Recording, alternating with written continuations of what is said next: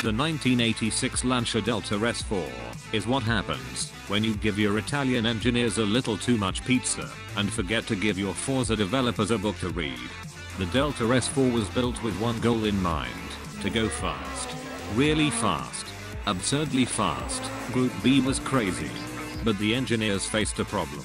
In order to go really fast, the car needed a turbo, but turbo lag sucks. The solution? Twin charge the car. Yes, the Delta is twin charged, not twin turbo charged, twin charged. It has a turbo for all that power in the high RPMs, and a supercharger to help avoid turbo lag in the low RPMs, and it makes a wonderful noise. But unfortunately, the Forza developers dropped out of school in 3rd grade, which means that reading a book proved to be quite simply too hard for them, and as such the S4 in this game only has a turbo, even though the Group B version in Horizon 3 had both a supercharger and a turbocharger. And yes, the road-going version also had both. Also the Horizon 3 version of the car sounded better, it sounds like a 5-cylinder in this game, but thankfully my name is not Fast Lane Gaming, so you won't have to hear me whine about a purely cosmetic issue in a game for over 30 minutes. The S4 in this game is the literal definition of a pocket rocket, and by rocket I don't mean a firecracker, I mean a fucking space rocket.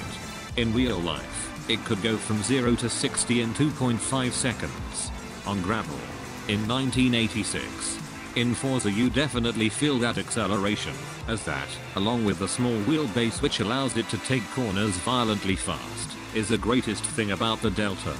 If anything has more acceleration than you, it probably doesn't handle as well in the corners. To teach you how to take those corners, we have brought here our studio's professional racing driver. Some say, he never dresses up for Halloween. All we know is he is Sans from Undertale. Let's watch. Before you enter a corner, brake. For the sake of safety, brake a bit earlier than usual with this car, since S1 rallying is bonkers. Toss your car towards the apex of the corner, and downshift as you're doing so.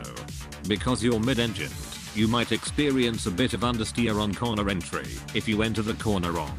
To make sure this doesn't happen, don't accelerate until you've hit the apex. Once you're past the apex, you can start to put the power down, and boy will you feel it. There's a chance your car might start to oversteer a little on corner exit, but most of the time you don't need to correct it, and a bit of power sliding is fine, especially in rally, so just enjoy that ridiculous acceleration. Your biggest weakness is how short your wheelbase is. On the Stratos it was fine, because in A-Class you won't be going at such dangerous speed, and that car's suspension is good for taking jumps, but on the Delta it's a whole other story, as although short wheelbases help you be more nimble in the corners, it can make the car very twitchy and unstable over bumps and jumps, which there are lots of in rally. There is nothing you can really do to correct this other than drive carefully, and don't get sent into a wall. Now that you've mastered all of this, it's time to move on to the car itself. Thank you for showing us how to drive, Sans from Undertale.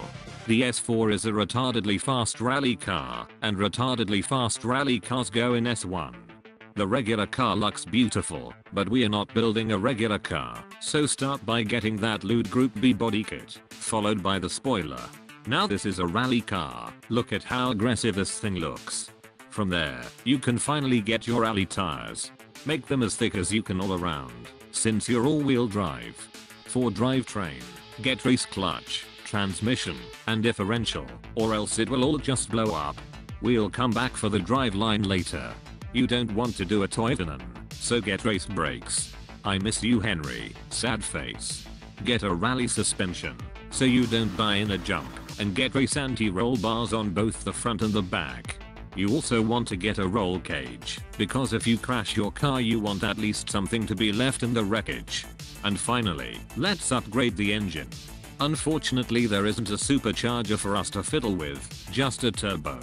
This has been happening ever since Horizon 1, so it's not getting fixed anytime soon. Get race camshafts, exhaust, and a turbo, followed by race valves and engine block. If you've done everything correctly, you should be at 796 pi, which should be more than enough to get some cool rally rims. These look pretty nice. But if you're happy with the stock ones, then go back to the engine and get a race intake manifold, followed by the best flywheel you can get. Congratulations, your PI is now at 900, and so are your chances of dying. But we are not done here. Go back to the drivetrain and check if you can still get a drive line. Luckily, we can. Now that you've attached several jet engines to your aluminium box, it's time to actually make this thing drivable. Because this car gets Forza Aero, we'll start there. Get 100% aero on the front, and about 75 to 80% on the rear. While you're at it, tune your braking force pressure to 110% or higher, since you'll be driving on loose surfaces. From there, go straight back to alignment, and get 1 degree of negative camber on the front, followed by 0.12 out at the front and 0.12 in at the back. Finally, for gearing, tune it towards acceleration until your top speed is 170 miles per hour or 270 kilometers per hour. This might seem like too little, especially for an S1 car, but you're a rally car. This is the perfect mix of acceleration and top speed for the longest straights you'll find. And that's it. If you feel like all of that was too complicated, you can just download my tune from my Forza storefront. My gamer tag is Flamethrower XXX. Now that your death trap is ready, go get some podium finishes. And remember, that Forza has given more attention to detail to a bunch of drift cars driven around by talentless hooligans, than to the very car one of the greatest rally drivers to have ever lived, died in, and whose death ended the golden era of rallying. Good job Forza. Goodbye and thank you for watching.